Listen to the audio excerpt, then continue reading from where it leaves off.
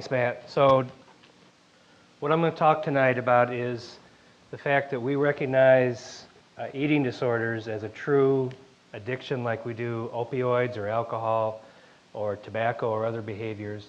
And I want to start off by describing how people see a relationship with food and how they act towards food.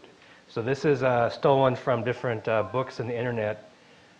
Some people fight battles with guns and tanks, others use spoons and kitchen utensils. I remember the Battle of the Bulge. The Ponderosa salad bar suffered a six plate defeat. I remember a war with a chocolate Easter bunny. In the middle of the night, I bit its head off. I admit it, I was a food addict. My life was controlled by food. Moderation was never my strong point. When it came to ice cream, one scoop was never enough. I once ate a two and a half gallon tub of maple walnut ice cream. It almost froze my stomach. To make matters worse, it was my roommate's ice cream. I felt so badly afterwards that I put a 12 foot chain through the handles of the refrigerator and cupboards and told my roommate, Here's the key to your food. He wasn't impressed. And this is from the book Overeaters Anonymous, and this is a version of step two, which is also in the big book of Al- Alcoholics Anonymous or alcohol. We have driven miles in the dead of night to satisfy a craving for food. We've eaten food that was frozen, burnt, stale, or even dangerously spoiled. We have eaten food off other people's plates, off the floor, off the ground. We have dug food out of the garbage and eaten it. We have frequently lied about what we have eaten, lied to others because we didn't want to face the truth ourselves. We've stolen food from our friends. We've also stolen money to buy food. We've eaten beyond the point of being full, beyond the point of being sick of eating. We have continued to overeat, knowing all the while we were disfiguring and maiming our bodies. And another version of eating disorders we'll be talking about tonight is anorexic. And this is uh, from a teenager. I don't see what they tell me they see in the mirror. My cheeks are too full. My hips and thighs are too wide and round. My arms carry too much fat and my stomach bulges. Looking in the mirror is a daily torture that I allow myself because who can resist the temptation of that reflective sheet of glass, of glimpsing who they think they are? I'm afraid. Someone please tell me there's a better way because I just don't know where to turn or what to do. I'm 15 and I will join the ranks of those who call themselves anorexic. So we're going to talk tonight about what eating disorders are, if they're really addictions, and a little bit about what addiction is, and just a little bit about neurobiology, what parts of the brain are involved. And then we're going to look at um, overeating first, definitions of obesity, the consequences of overeating and undereating and purging, and treatment, and a little bit about brain scans, and then we're going to turn it over to Lori to talk about other treatment modalities. Now, when I, whenever you give this talk, you're asked to fill out a form at the end, and when I first started giving this talk, I give this talk, and I also give one on the physiology of addiction. I found that I was emphasizing all the, the bad things and the physiology and the consequences, and this was one statement that somebody wrote down saying I'm very depressing. So I thought, well, I'm going to spice it up a little bit. And then after I spiced it up, the next comment was, I left tonight entirely without any hope. So I, I realized I was probably not doing it the right way. So I, I, uh, I know this sounds a lot like doom and gloom, but this is a treatable disorder. Both of us are going to talk about treatment, uh, and it's something that is entirely treatable. It's not curable, just like alcoholism is not curable, but it is treatable. So, first off, eating disorders have nothing to do with weight. You can have a horrible eating disorder and be normal weight or underweight. You can be severely overweight and not have an eating disorder. Depends on what the etiology is. And we talk mostly about anorexia as being someone who restricts their food and has a distorted image of themselves. Bulimia, somebody who may overeat but compensates by purging or using laxatives or overexercising. And then finally, this is not recognized by the psychiatrist, but most people recognize that there's a binge eating disorder and also different variants of it that we'll talk about. So first off, anorexia nervosa. This is a condition where you refuse to maintain what we, quote unquote, consider a normal weight. And this is usually somebody who has a BMI, body mass index, that's more than 15% below normal. So if you consider a BMI of 19, we'll show you what that is, then you're usually talking about people who have BMIs of 17, 15, or even lower. It's someone who has what we consider a pathological fear of weight gain, someone who is terrified of approaching a normal weight. They have a very distorted body image. You'll see pictures of men and women who are starving, usually women, and when you ask them, how do you look to yourself, they'll describe somebody who's obese, even when they're close to death. If you're female, part of the requirements for this definition is that your periods need to stop, but that's not usually hard to accomplish when you've lost enough body weight. And there are two types. There's a restrictive, and that's what we usually think about, someone who refuses to eat. And there's also somebody who kind of crosses over the line to binging and purging. So somebody may overeat, overeat, they'll force themselves to throw up or use laxatives, but they have the other criteria here also. Now, bulimia is somebody who overeats typically and feels like they're losing control when it happens. They may be underweight, normal weight, or overweight. And they have what we call compensatory behavior. So if I binge, I'm going to compensate by starving myself, by making myself throw up, by using laxatives, by exercising, um, and it's something that I use to compensate. And it's supposed to happen twice a week for three months. That's what, usually when you see a psychiatric diagnosis, there's a frequency that has to be in there. And it's somebody who is unhappy with their body size or their body shape. And then we have the one that most of us talk about most typically, and that's a binge eating disorder. This is somebody who eats compulsively, and compulsively means that I have to do it to feel normal. I'll eat to the point of being full, I'll eat to the point of being sick, and I won't stop. Because I feel bad about doing it, I'm going to eat alone. And I'll hide things from you. And you may wonder why I'm overweight when you never see me eat, because I do it alone. And this is somebody who eats beyond the point of feeling comfortable, and they feel all these great terms at the bottom disgusted, depressed, or guilty. And that's how people typically feel about themselves. And there's also one special version called night eating disorder, where somebody may have a normal eating pattern, but they must get up at night and they must go to the refrigerator and they must eat. I know a gentleman who, um, in Overeaters Anonymous, who actually had his bedroom locked from the inside, so he couldn't leave the bedroom, gave his wife the key. He would wait until she went to sleep, and then he would sneak under the pillow and steal the key and go down, eat, come back up, lock the door, and put the key back under her pillow. And she couldn't figure out what was going on. So these sound like very abnormal behaviors, but you can have an abnormal behavior without being an addict. So the next thing to look at is, are these eating disorders really what we consider to be addictions? So let me back up one more step and ask you what you think addiction is. You would be amazed at how many different definitions you're going to get from people when you ask about addiction.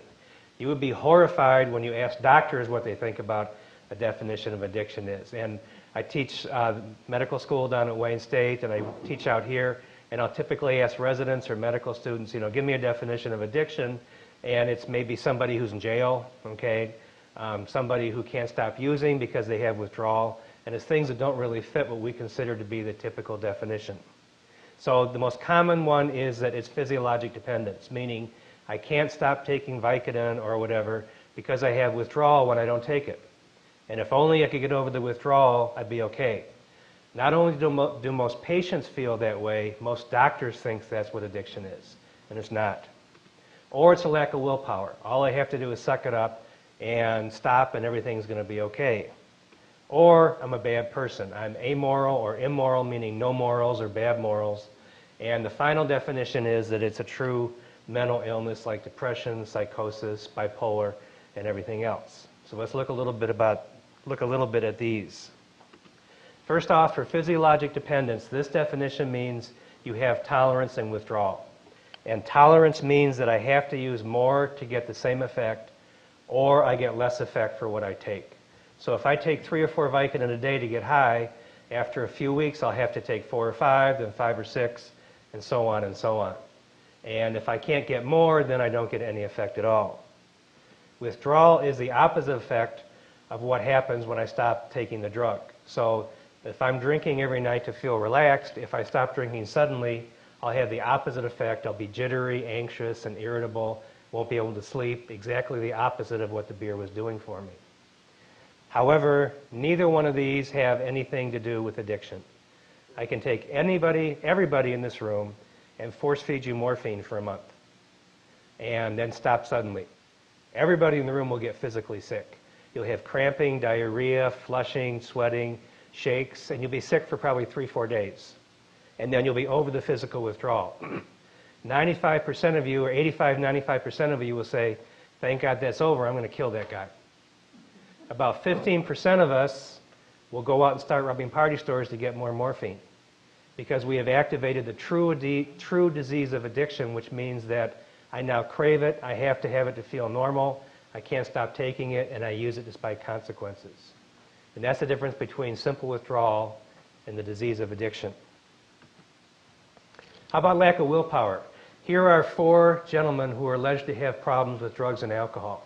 The two on the left were alleged to have problems with amphetamines. The two on the right were alleged to have problems with alcohol. The exception is the guy in the top right, Winston Churchill. They said he was not an alcoholic because no alcoholic ever drank that much. When he was a supreme commander of the Allied forces and running World War II, he was drinking about a fifth a night. Okay? But no one has ever accused any of these four of having a lack of willpower.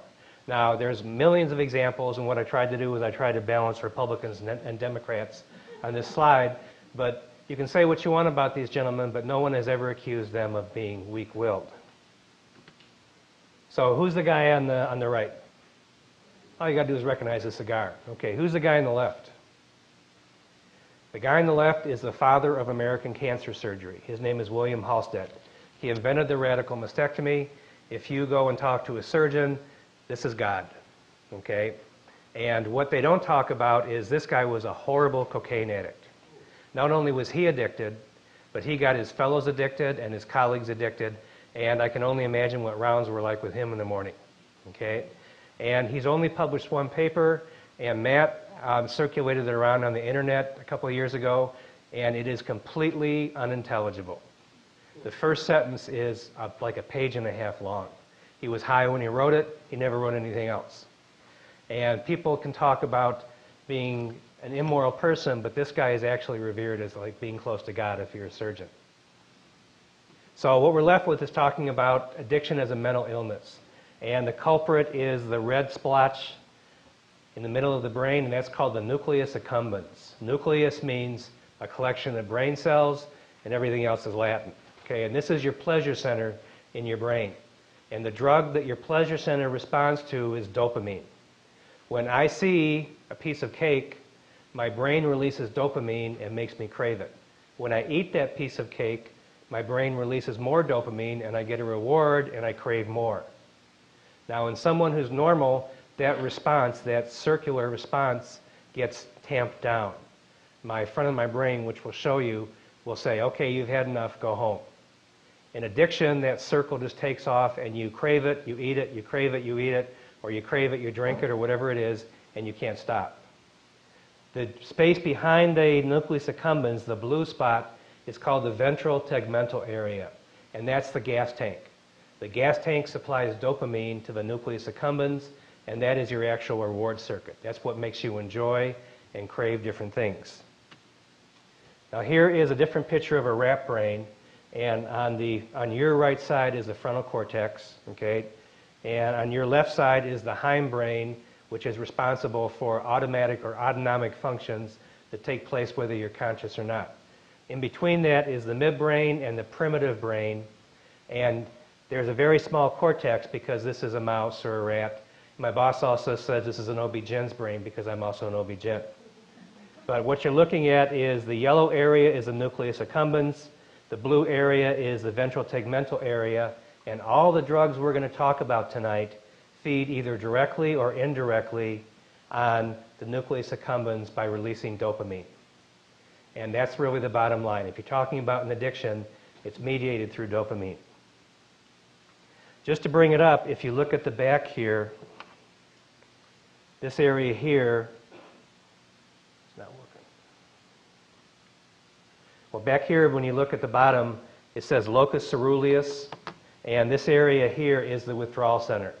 That's the area that kicks in when you take pain pills for a while and stop. Your withdrawal center is in the back of your brain. Your nucleus accumbens is towards the front of your brain. But the nucleus accumbens is still considered to be a primitive part of the brain. Now, this is a picture of a brain looking like I've cut my head off right about here, and I'm looking down straight onto it. And remember, this is your brain is a mirror image of itself. So you're looking at the pleasure center straight down. The red area is dopamine. And if you look on the left, you can see three normal people, three control subjects, and they have a lot of red in their brain. That means they have a lot of dopamine, and they're normal and they're happy.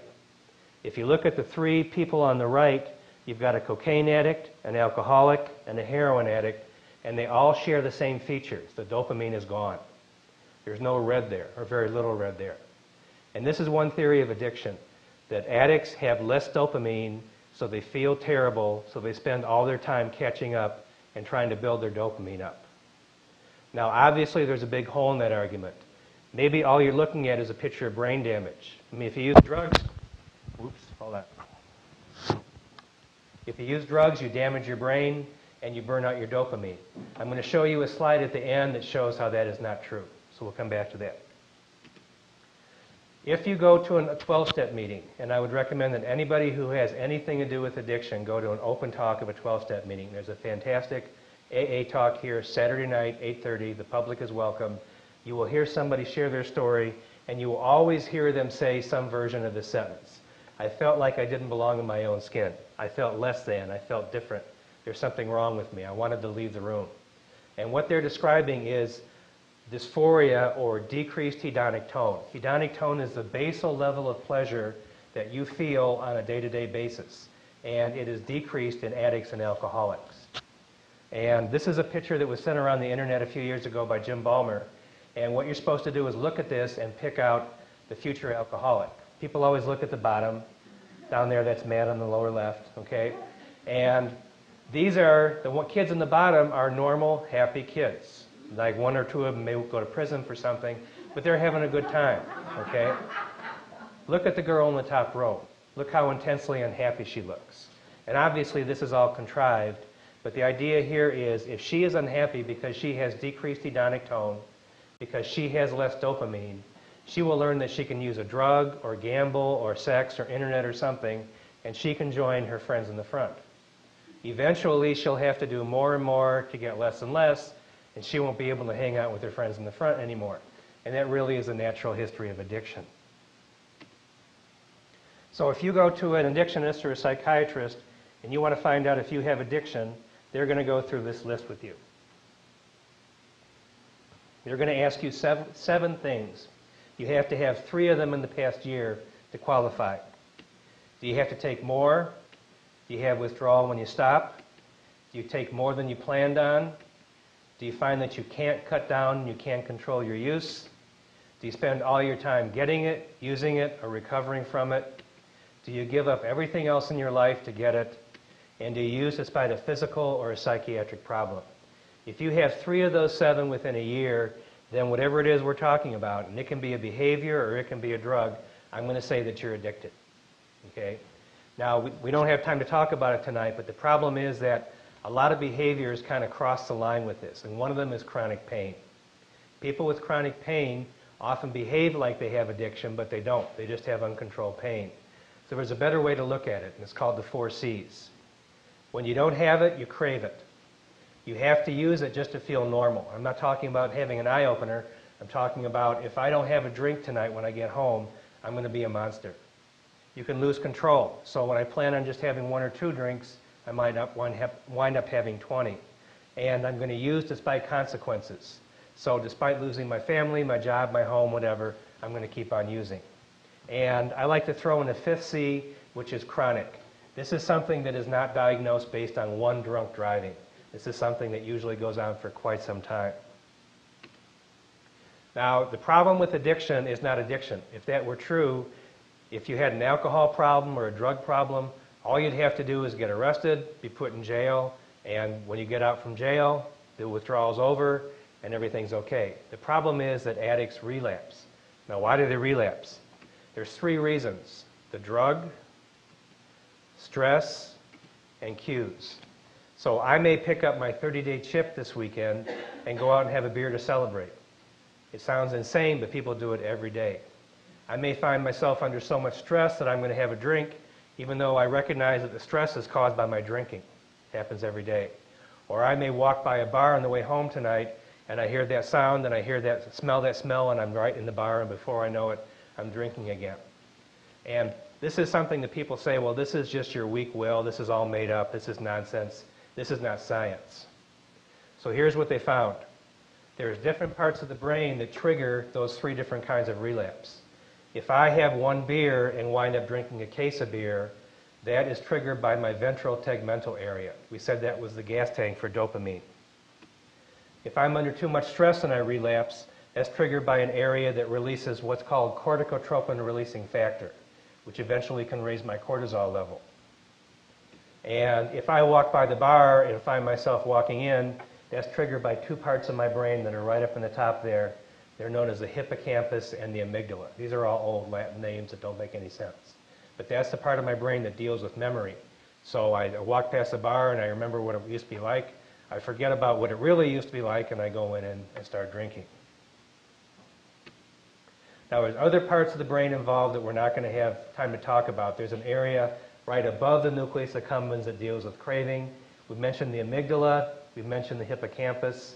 The frontal cortex is a part of my brain that's supposed to tell me not to do this.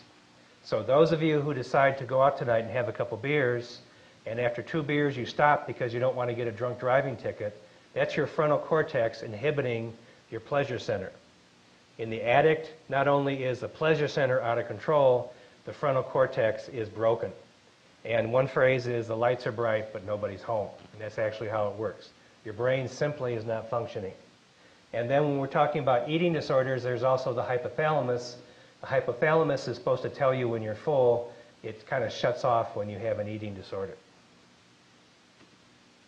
Now, talking about chemicals, we've mentioned dopamine. Dopamine is the pleasure drug. It makes you crave something and rewards you for, for using it. There are other ones. There's serotonin, which calms you down. And everyone's heard, everyone's heard of SSRIs. Those are serotonin reuptake inhibitors. They increase serotonin in your brain and they relieve depression. There's endocannabinoids, which are the munchie receptors. So that's the part of your brain that binds marijuana and that will increase your appetite. And we'll talk about a drug that actually worked to block that, but they had to take it off the market. There's endorphins, which are your natural pleasure drugs. So when you go running, when you have a baby, anything that's very stressful, you release endorphins and you get a natural high. That makes you eat. And then there are two hormones that fight each other. There's leptin and ghrelin. Leptin is a drug that is anorexigenic, which means that it inhibits your appetite and ghrelin is orexigenic, which means it stimulates your appetite. And these two chemicals can be abnormal in someone who has an eating disorder. Now, if you go to a 12-step meeting for food, which the typical ones around here are going to be food addicts in recovery or overeaters anonymous, you're going to hear people warn you that when you share your story, don't talk about food because it can trigger somebody. When you go to an AA meeting, you'll hear people talk about don't become hungry, angry, lonely, or tired.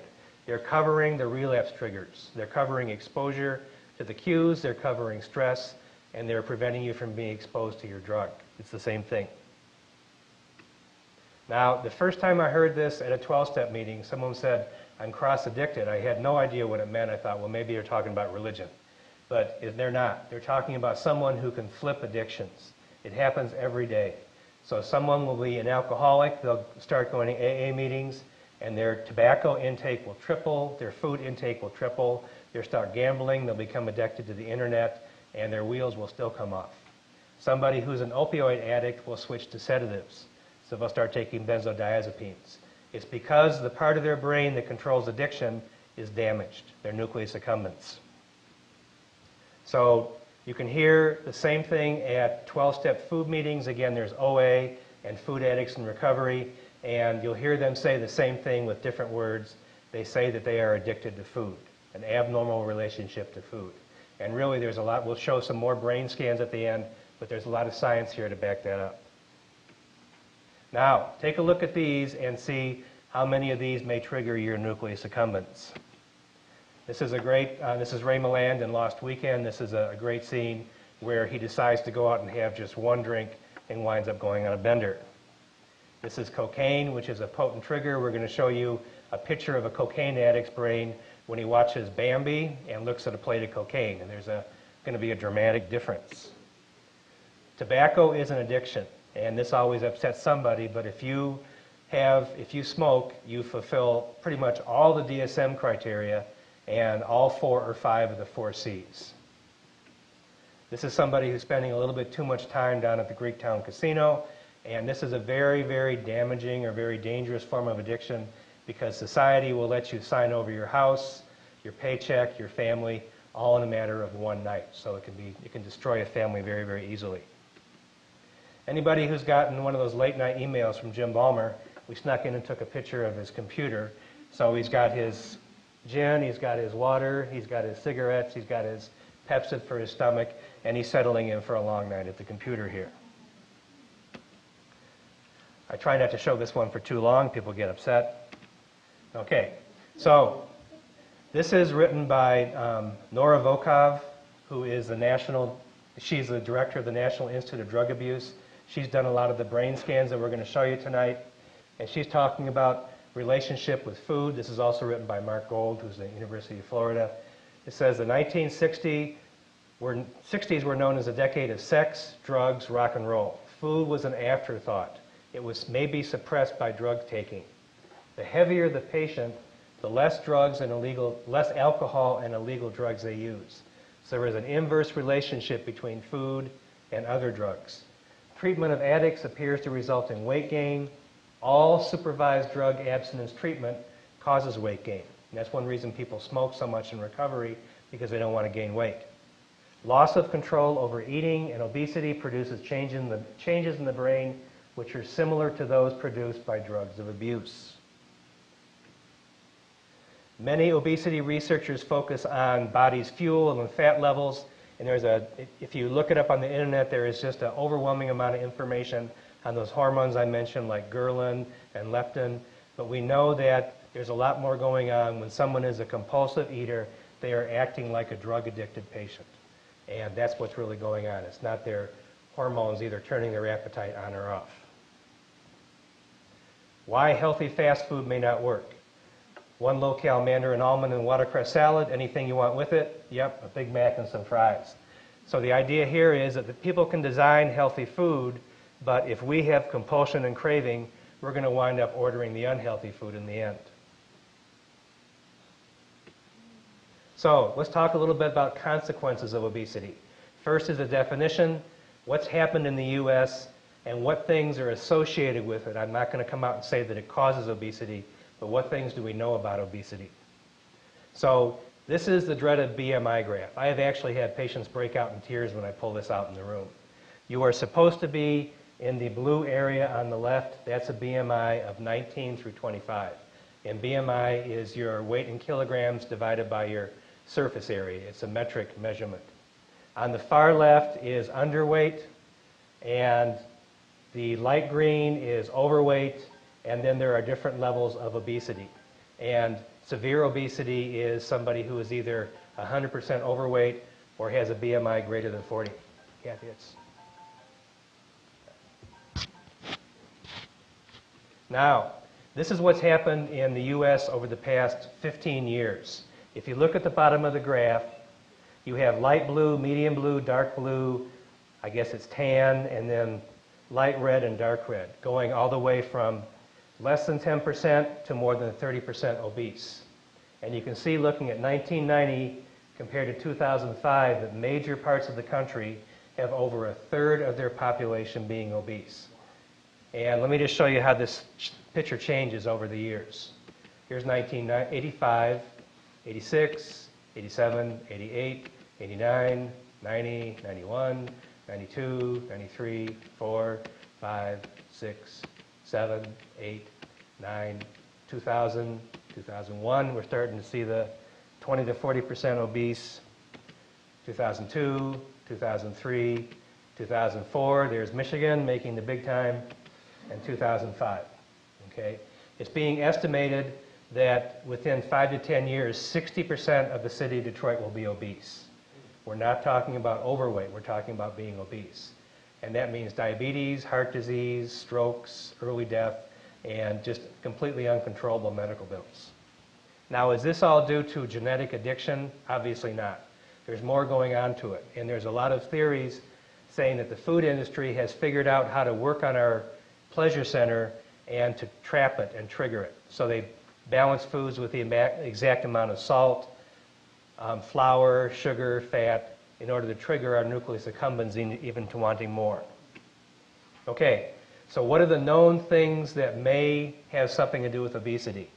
How much your mother took in, whether or not your mother had diabetes, whether or not your mother breastfed you, if you have one or both parents who are obese, if you have decreased energy expenditure, and if you watch TV. Every two hours of TV increases obesity by 25% and diabetes by 15%. Okay? Sleep deprivation. People who get less sleep cannot control their eating. People who overeat. Fast food seems to trigger more fast food. And the people who design this fast food are not idiots. There's a reason they supersize something. Because not because they want you to get your money's worth, it's because they want you to come back for more. Okay? And eating disorders can cause obesity. And we mentioned nighttime eating. That's where somebody may have a normal food intake during a day, but they have to eat everything in sight. And this is the, the movie that was out years ago showing how somebody, just by spending their entire day at McDonald's, imagine, ma- managed to completely trash their health in a matter of a few weeks. Okay, so let's talk about the opposite. Let's talk about caloric restriction and then purging and overeating again. So if somebody is anorexic, they will have weak bones. That's either osteoporosis or osteopenia. They can have a heart attack or their heart will suddenly stop from an arrhythmia. They will not be able to think. They'll have brain damage. Their stomach will not work. They'll get constipated, and if you take an anorexic and make them constipated, it makes them insane. They will do anything to get laxatives.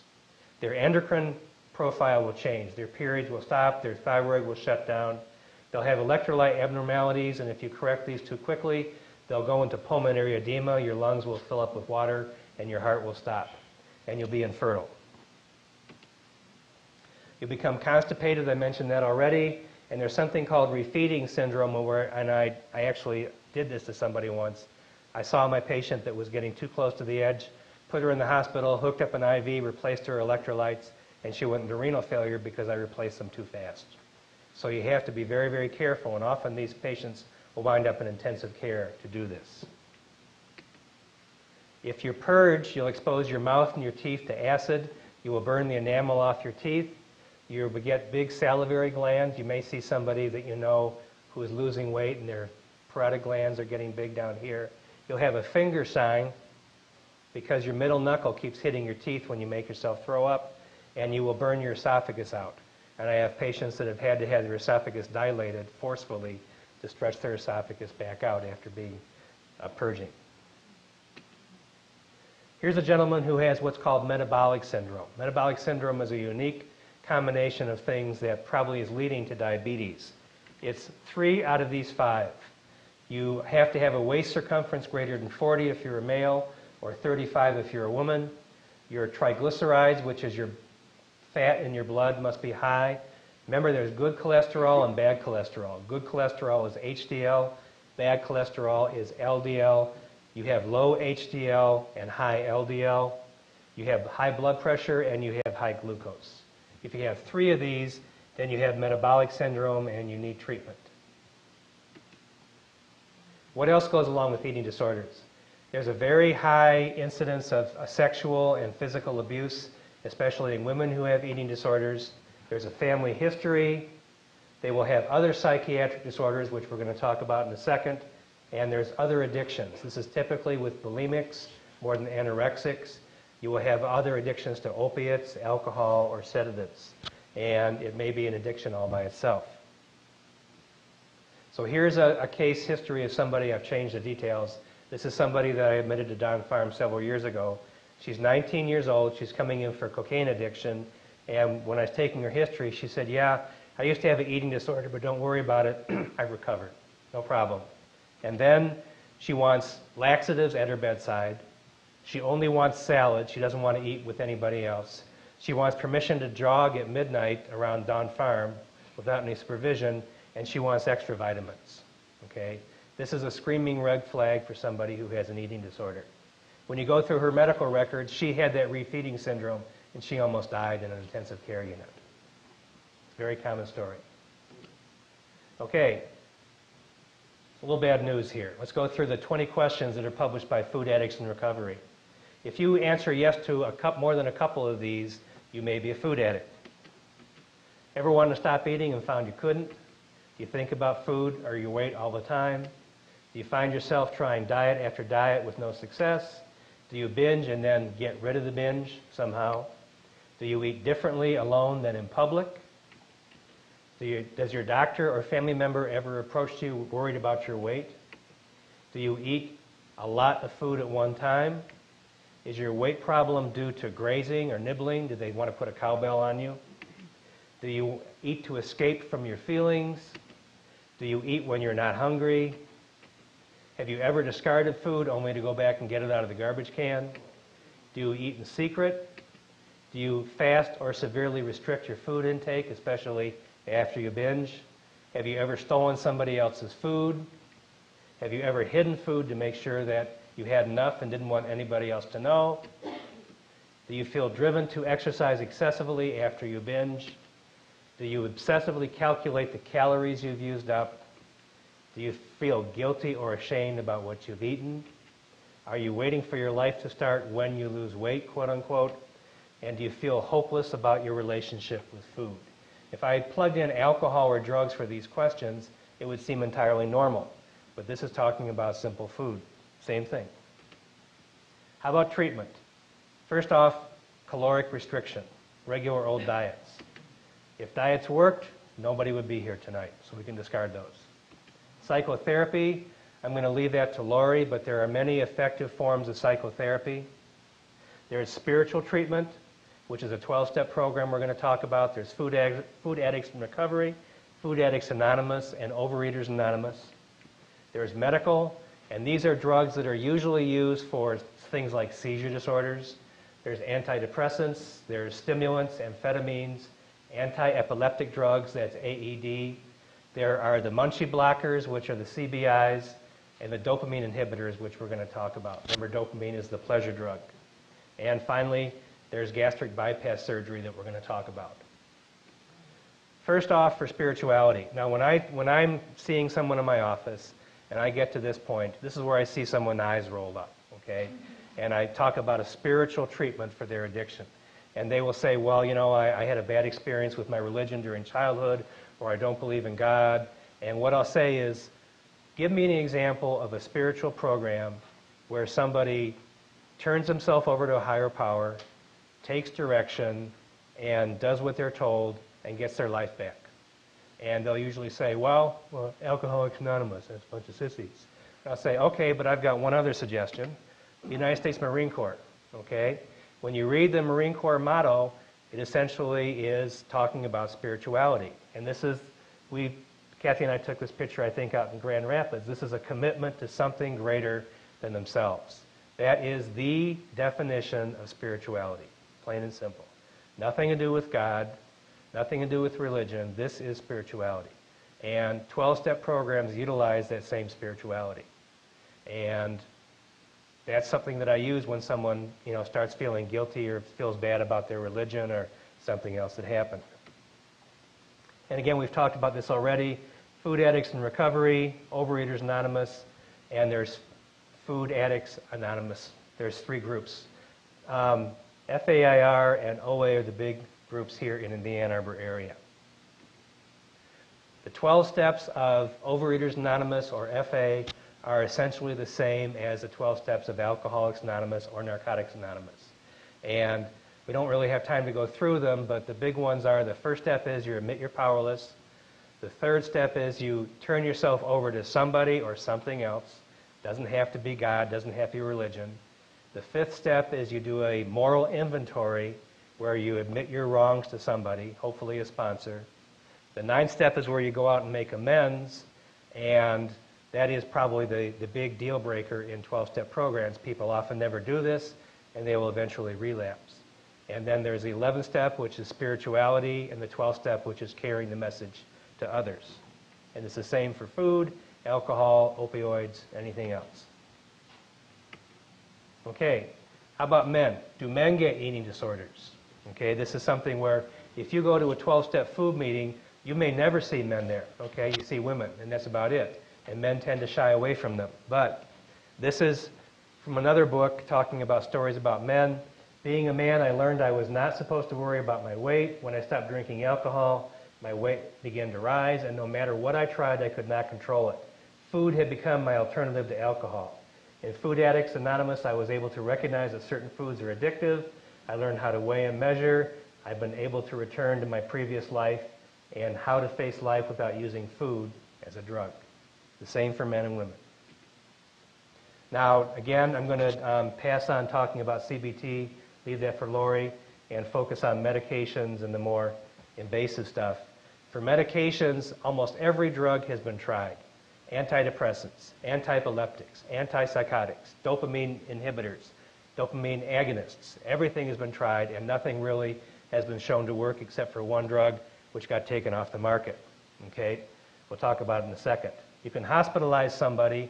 You put a camera in the bedroom, you put a camera in the bathroom, a camera in the shower, and they cannot go anywhere without being seen, so they can't eat.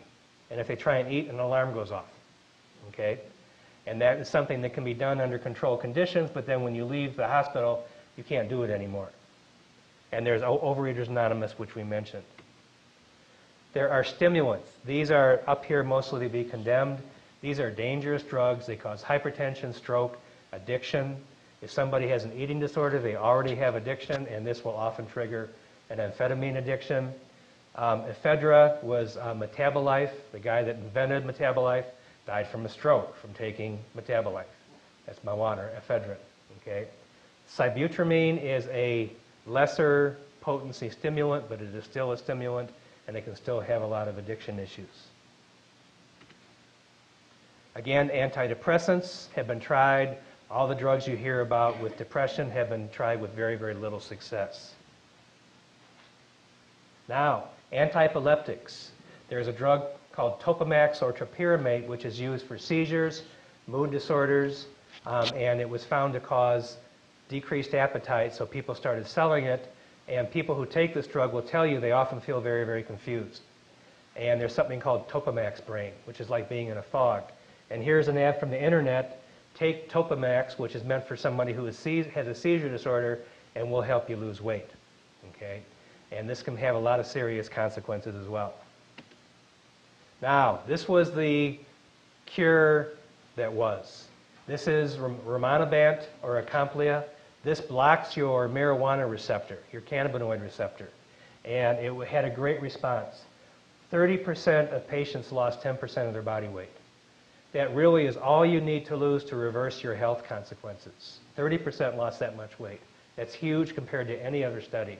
All the amphetamine studies, patients would lose like four pounds. Okay?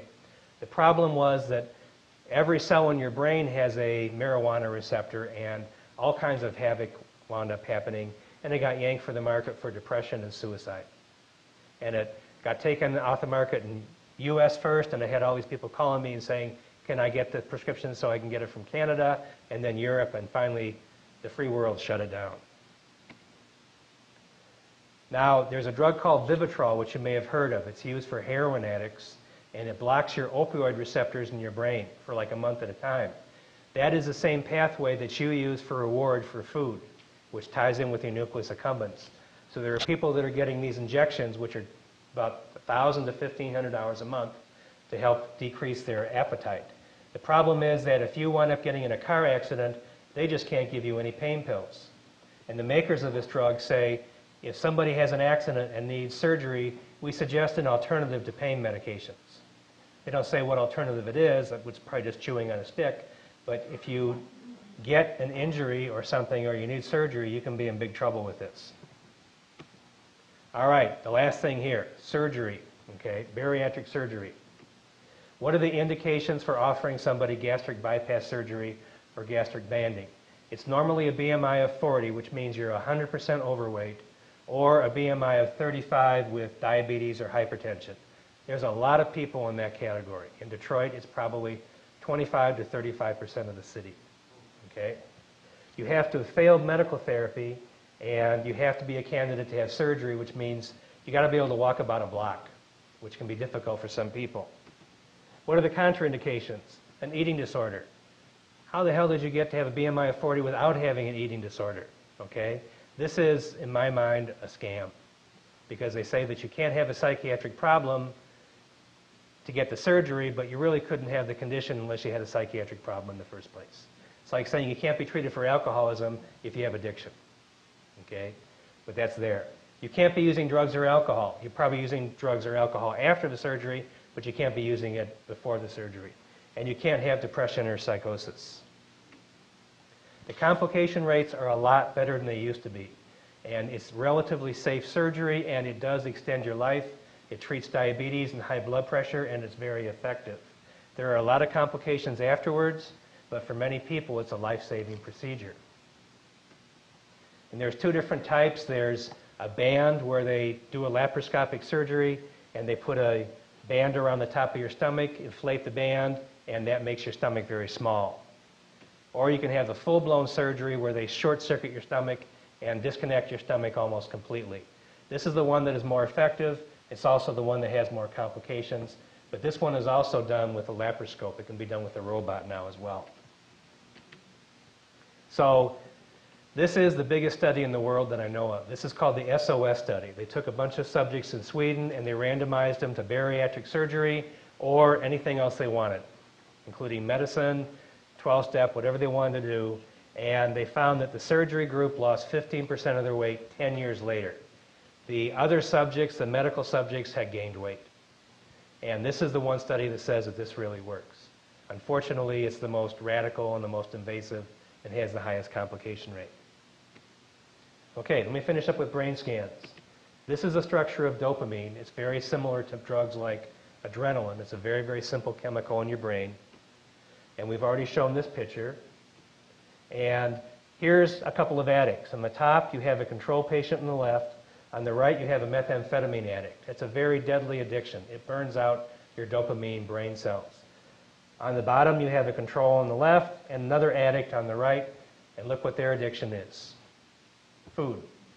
You can see the same brain picture, the same decreased dopamine in the methamphetamine addict and the obese patient. It's the same. Here is a normal person on the left with normal levels of dopamine and a overweight person on the right with decreased levels of dopamine. Same thing. This is a fancy, fancy graph called the scatter plot. And just very briefly in English, what it's saying is the receptors for dopamine in your brain, if you're obese, not only are decreased, you've got fewer receptors, they don't work as well. They don't hold on to dopamine as well. So it's a double whammy. Fewer receptors for dopamine, and the receptors don't work as well. Now, this is kind of complicated, but this is a picture showing a normal patient, and the red is dopamine that has not been released yet. So this means there's not a lot of dopamine activity going on in this control patient. And see what happens here. We take somebody and show them a plate of cocaine. And if you take a cocaine addict and show them, they actually use Bambi on the left, nothing happens. You show them the picture of cocaine, and poof, they release all their dopamine. So the dopamine's gone now. And what this shows is just the cue of seeing the plate of cocaine could trigger somebody into a relapse. Here is a food addict on the bottom and a normal person on the top. Ignore the part about Ritalin. If you watch Bambi, you've got a lot of dopamine sitting around, not doing anything. You see the plate of food, you see the Big Mac, and poof, all your dopamine gets released. And what's that do? It makes you want to crave that food. You go out and eat it, and you're off on a binging cycle. Same thing. Now, last thing here is one big hole in all this story is maybe all I'm talking about is brain damage. This study looked at people who were not addicts, they were college students, volunteers. They injected them with IV Ritalin, which most of you would find to be a horrible experience. That's IV amphetamine, speed. And then they looked at, they asked you, did you like it? Did you not like it? And then they looked at your brain scan to see how much dopamine you had. The people who enjoyed being injected with IV amphetamine had lower levels of dopamine, and they weren't addicts. They were born that way. So people who enjoy things like this are abnormal because their brains don't have as much dopamine. I wouldn't try repeating the study at home. It's a little dangerous. Okay, it's my favorite picture. This is my wife, Kathy, and this is in the Adirondacks on our honeymoon, and on the right is Tommy. We've been talking about the disease of addiction. Tommy suffers from the disease of stupidity. We got him to be a therapy dog, and we were going to take him down to Children's Hospital and work with the kids in the chemo ward and stuff. We took him to training school, and about halfway through school, the instructor came up and said, we need to talk to you, and she sat us down and she explained how Tommy just didn't have what it takes and we should just take Tommy home. Still a good looking dog, but he can't be a therapy dog. And last picture of an addict, the dog in the front is Dakota. Dakota was such a severe food addict that we actually chained our refrigerator. And he would break the lock on the chain after we left the house. And he would empty the refrigerator after breaking the lock. And I realized that he loved food, so when he died, we had him cremated, and he's sitting up on top of the refrigerator now. That's his, his ashes, so he's happy. Okay, so let me stop right here.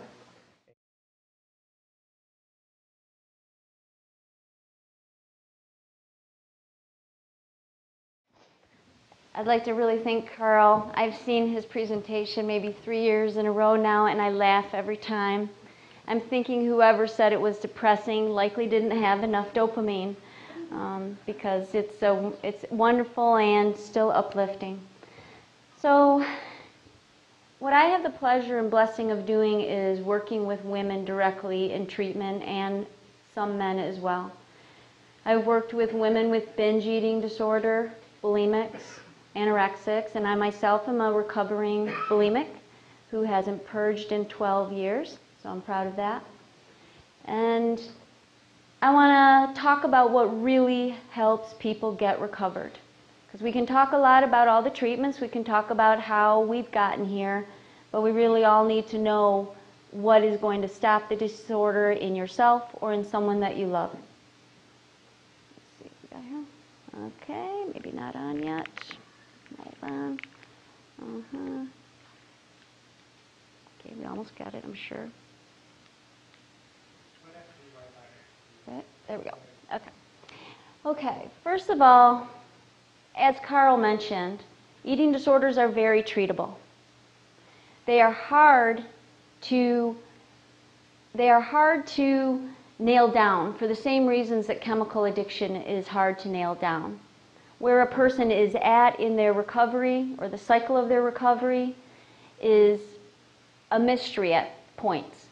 And being able to assess where they're starting is going to depend on how we can treat that. So first we're going to go through a couple things that are locally around for people to start getting themselves educated if they need that, finding resources, finding the people.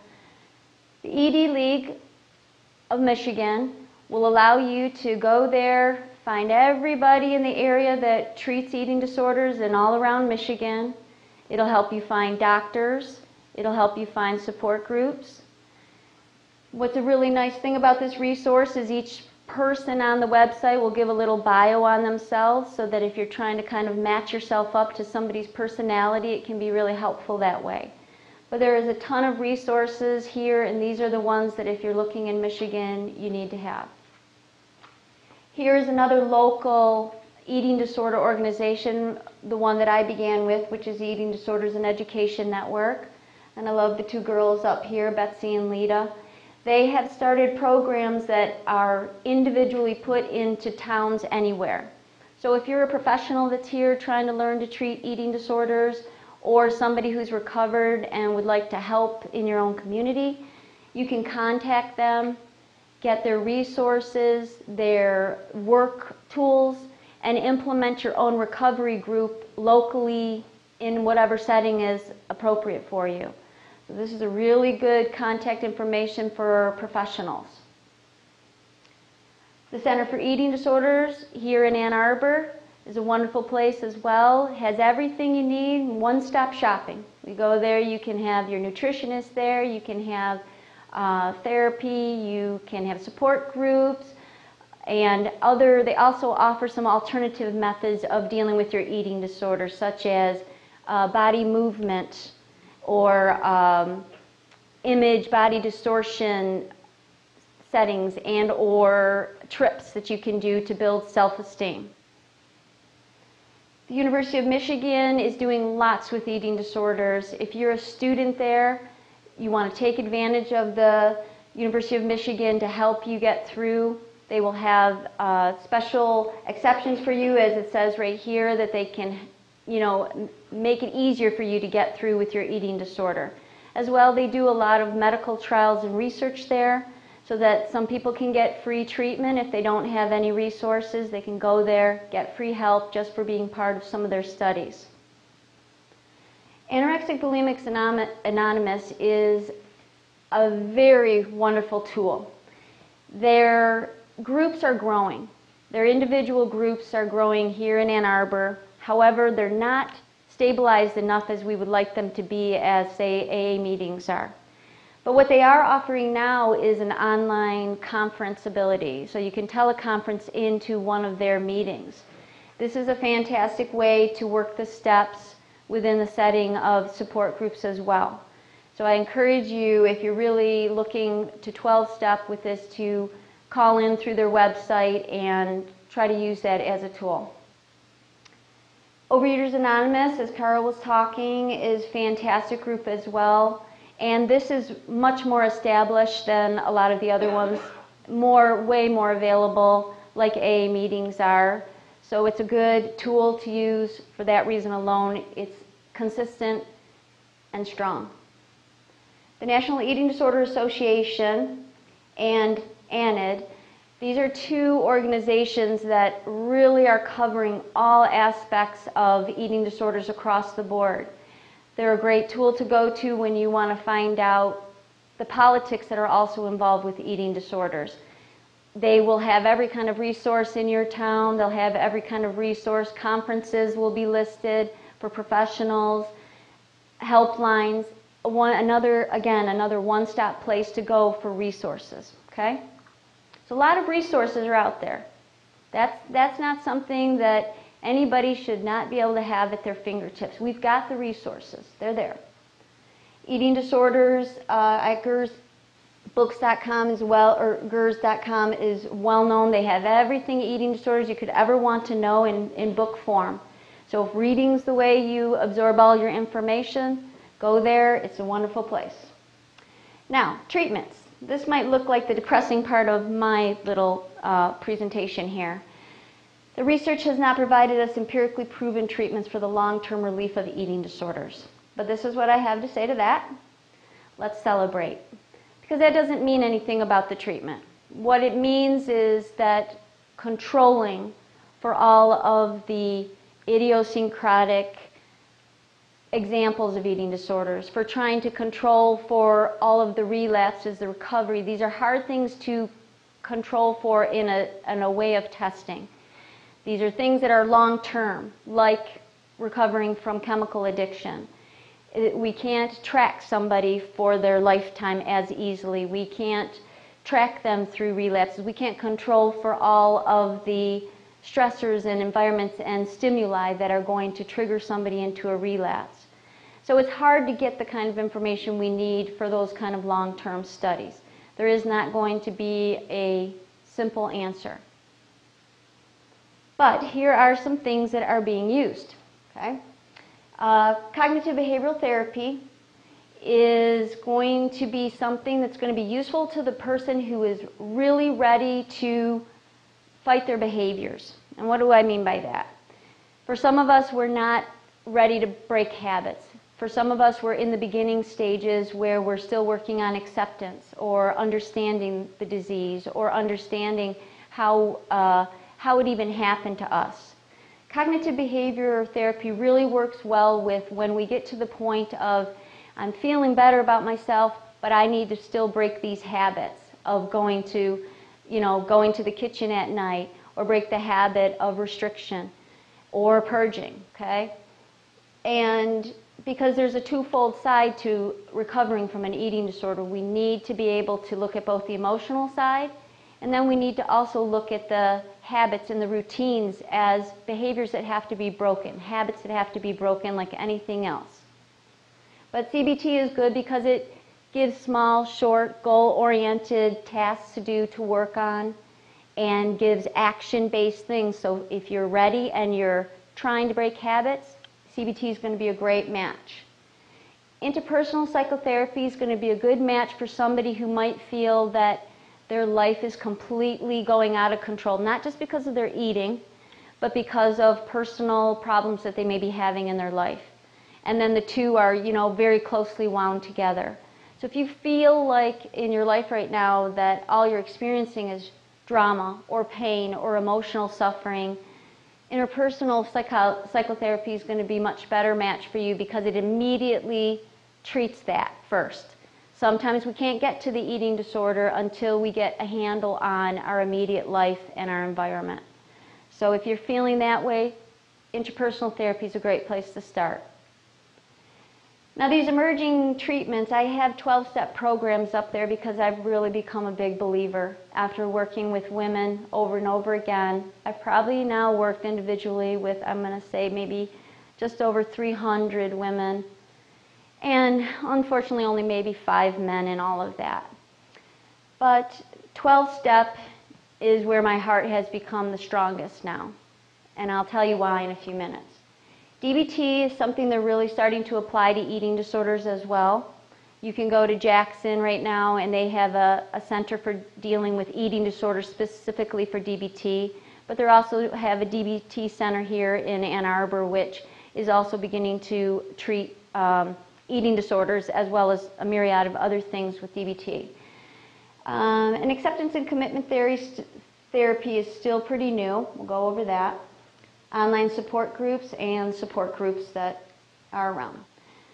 DBT is a therapy, a behavioral therapy that helps people who have a mood disorder issue within their life that they're dealing with on top of their eating disorder. Uh, DBT is going to help you slow down your thinking, take a, a snapshot of your environment, help you figure out how your mood moved from one place to another. A lot of people deal with feeling that either their anger is going to be something that's out of control for them, their anxiety or their fear, and they come up so fast and they may have a reactionary response to that. DBT is going to be an excellent match for that. It's going to help people slow their thinking down so they can hear their thoughts, read their thoughts, and act on them appropriately to match the environment. Okay? Now, this is the most important part right here. I have this up here, and you should have a handout there that has these five things on it. Do you guys have that? Yes. Okay. So what we got here is the real part of how we get well, which is first assessing where we're at. That is the number one place that I want everybody in here to start when they're thinking about themselves, their loved one, or anybody with an eating disorder. If we don't match where they're really at in their desire to be well, that can really affect how treatment goes. So here are the steps from Prochaska's stages of change.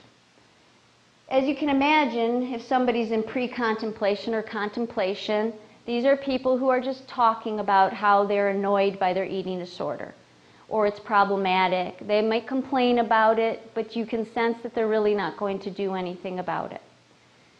Preparation, somebody in there is going to be educating themselves. They're going to be talking finally. They're going to be listening to people. That doesn't mean they're going to be doing anything. Somebody could be here tonight who's in contemplation. They just, or in preparation. They just want to think about it, but they're not ready to do anything about it. And on that form, as you can see, there's plenty of other steps in there, right, under each of those subjects that show and help you know if a person is serious about where they're at. If we're in action, we're doing things. We're doing physical tasks to help us address our eating disorder. And of course, maintaining is, you know, continuing those things till they become second nature. But I want the emphasis for you to be on here because if there are any, are there any parents in here who are have a child that they're trying to help? No parents in here? So a lot of things that happen are we're looking at a person and we're saying, we're assuming that because they have an eating disorder, of course they'd want to fix it. That's our first mistake. Do not look at somebody with an eating disorder and assume that they are ready to get rid of it or wanting to get rid of it. It's an addiction. An addiction starts out serving a purpose. It serves a purpose of emotional escape at some point. It serves a pur- purpose of success where there was none. But when you look at that person with an eating disorder, letting go of something like their eating dis- disorder is not letting go of a disease for them. Uh, in their early stages, it's letting go of their security. It's letting go of their safety. It's letting go of their friend. So don't make that mistake of thinking that even though they look miserable or feeling miserable, that that means they're ready to let it go.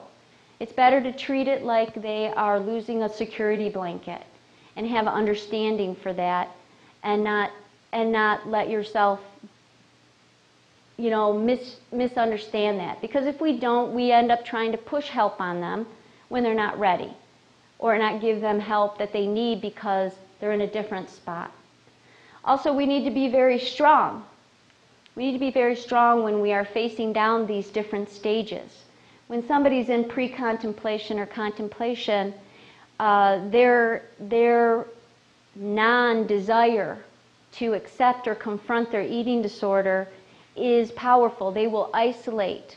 They will chase you away. If confronted, they are going to become somebody that you may have never seen before. They can become angry. But they, they, they will do anything to protect that reality and protect that addiction from being taken from them. And that is about these stages. And your understanding of them can help stop damage to yourself or to your family. Because when we're pushing again in a place where there's not readiness, that's how people get hurt. That's how families get broken because they're trying to save somebody who doesn't want to be saved. At each of these steps, there are certain things we can do if we're stuck with somebody who's in pre contemplation and contemplation, we have things that you can do to help people move forward. But you want to arm yourself with that knowledge before you try to help them. Get to the people who know what to do, talk to them so that you're not dragging yourself, draining yourself of the energy of fighting something that nobody wants to fight. So I believe here these are very closely linked to the 12 steps in the sense that, you know, what we're basically saying is when, when we're in preparation or action, we're in acceptance. We've finally agreed that I can't manage this. I can't do this on my own. And so they're very closely linked. Here, I wish they had a ladder on the back of this because they give you that feeling, right, that you start out here, you work your way up, you know, but here, if you're not paying attention or doing things or, you know, continuing on your relapse plan, you slide back down the slide. What they don't show you is on the back of there, up there, there's a ladder off the back. So when you do get up there, you can walk down that ladder. You don't have to slide backwards.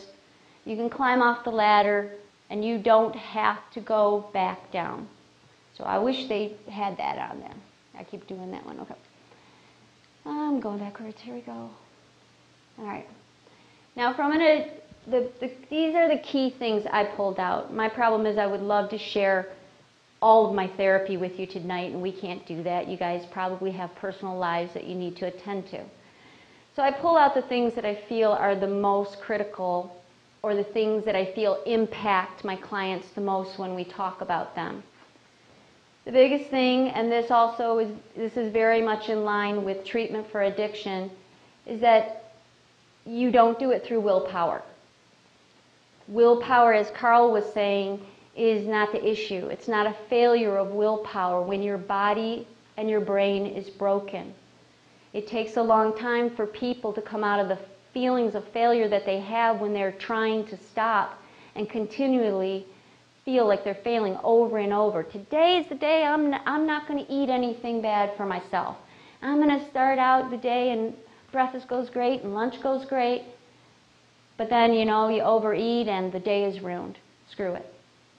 Same thing happens with people trying to retain themselves from purging.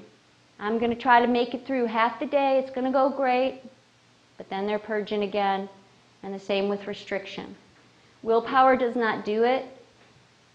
Breaking habits and learning how to break habits will do it. And letting others help you will do it. Um, we get well, a wonderful woman named Pauline at Dawn Farms Outpatient Services once said, you know, as I listened to her talking to a class of addicts,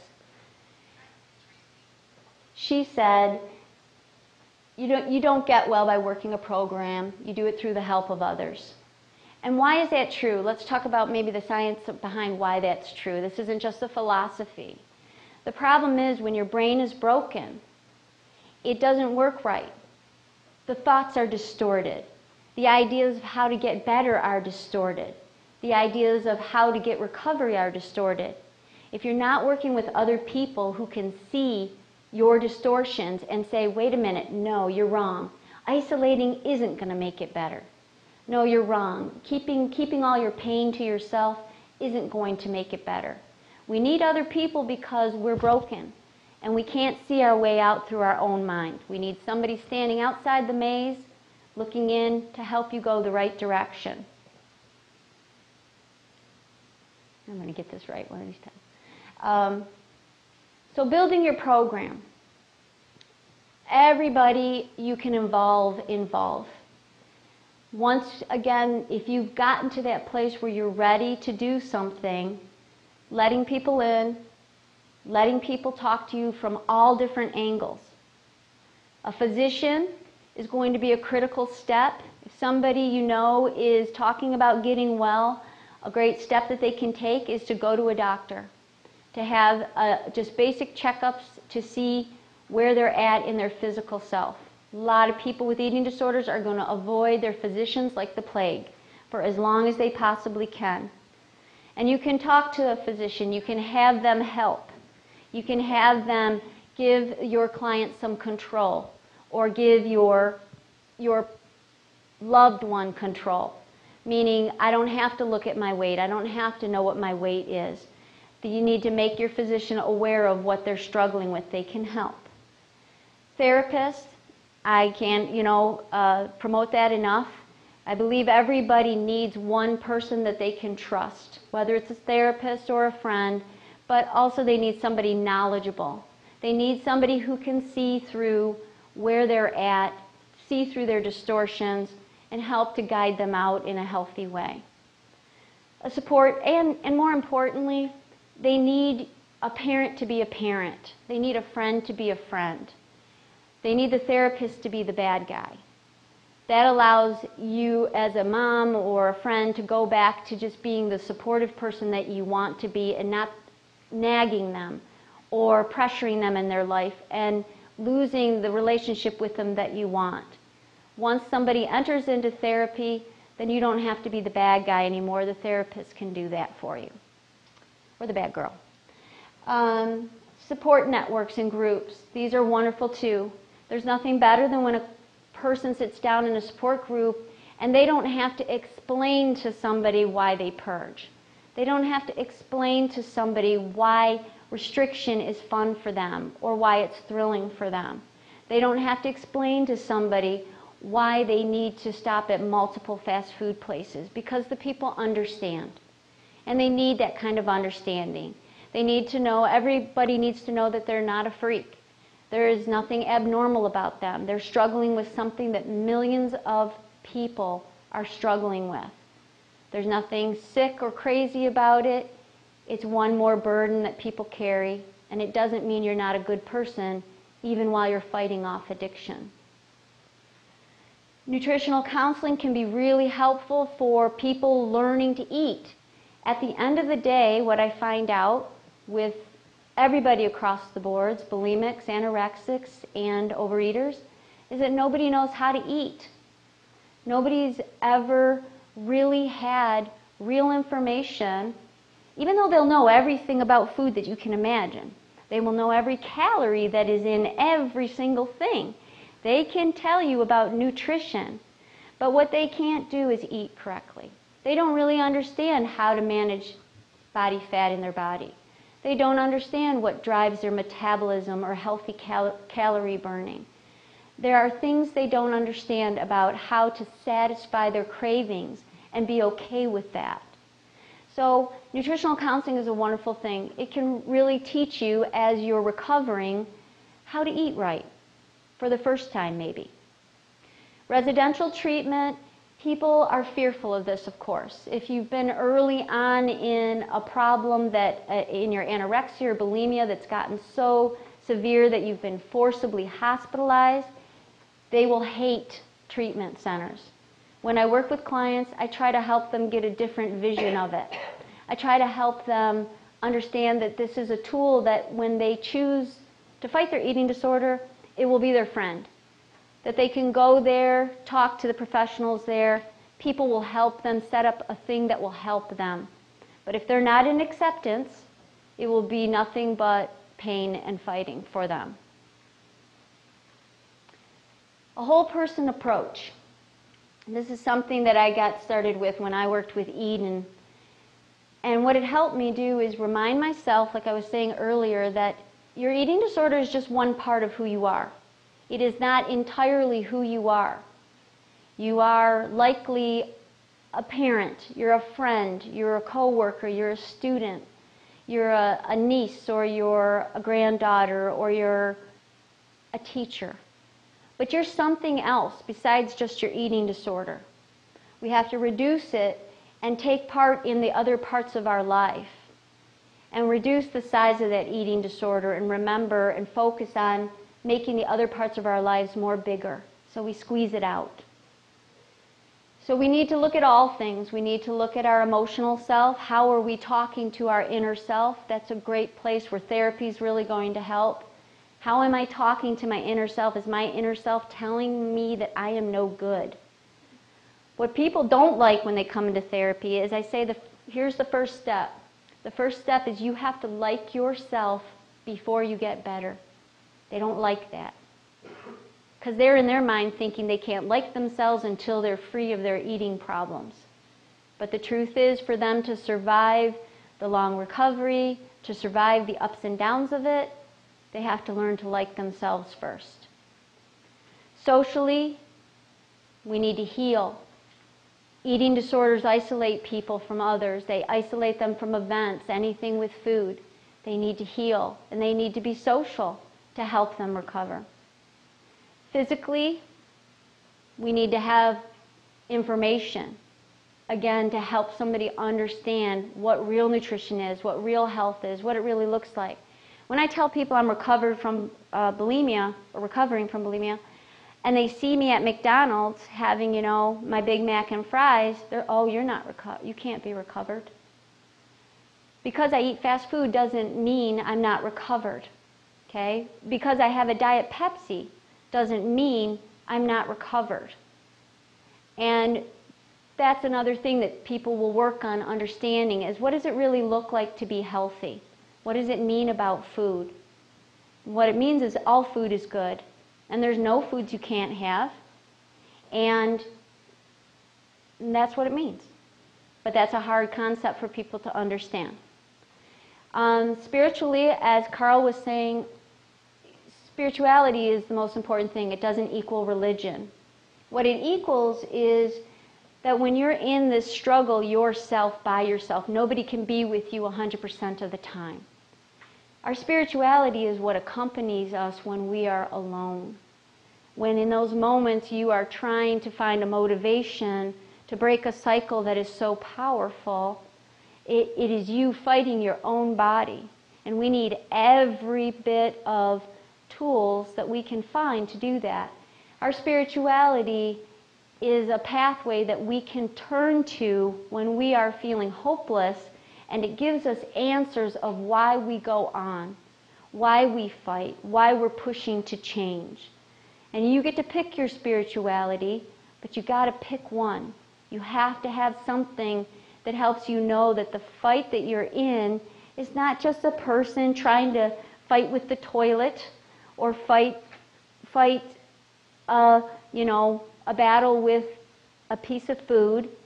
This is you in a journey in your life, faced with a conflict, a long, painful struggle, and how are you going to get through that journey and keep yourself motivated and inspired all along the way? That's what our spirituality does for us. It accompanies us. okay, so a couple things here, and I'll go through these quick because we're going to be done by 9. There's a duality here, as you can see. Working with addicts, as I've been blessed with Dawn Farm, what I see is there is a powerful, powerful need for somebody to be accountable for their behavior, to be open, to be tough on the behaviors that we're practicing that are unhealthy, secretive, and not making us feel good about ourselves. On the flip side, we're supposed to be accountable and, and hold ourselves as responsible, but we also need to be developing compassion at the same time, not feeling that even though we're responsible, that we're bad or guilty or that having an eating disorder is 100% your fault. To remember that it's not your fault, but it is your responsibility. So there's a development of these very two important things. As we were talking earlier, we have to work on emotional awareness, but at the same time, we need to recognize that habit breaking is a separate thing.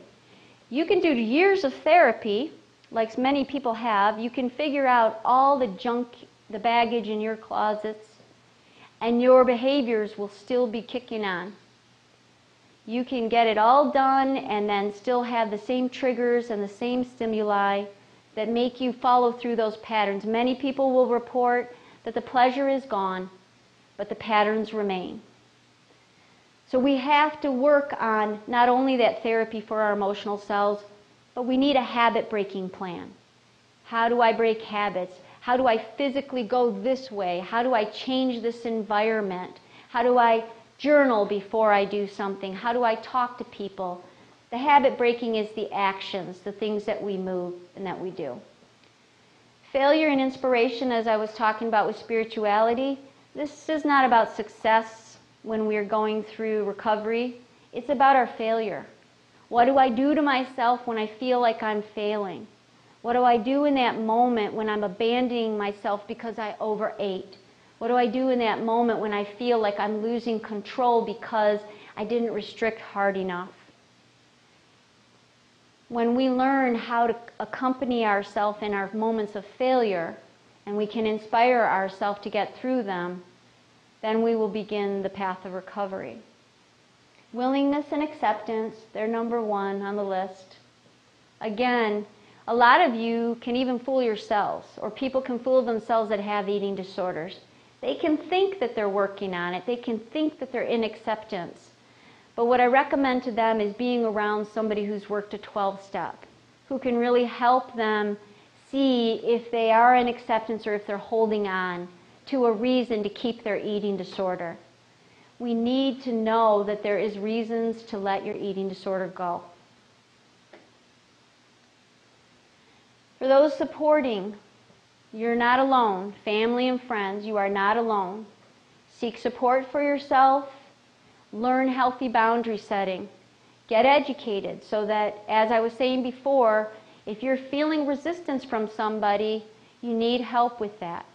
You need to have all the information on how to move that along. For those trying to recover, You do not have to do this alone, and you can't do it alone. You can do this. For those of you who have overeating and have dieted for years and years and years without success, don't give up. Find the people who are recovered and hear them and listen to them. And you don't have to wait until you're recovered from an ED to like yourself again or from an addiction. You're quite a wonderful person along with having an addiction. And you're allowed to be that. You're allowed to work on your addiction and still be loved, wanted, and successful. Now, I know I didn't get that all in there that I wanted to, but my main hope was that hopefully there's some inspiration in there for people to understand that inspiration is what will get you through ultimately. And there is plenty of treatment.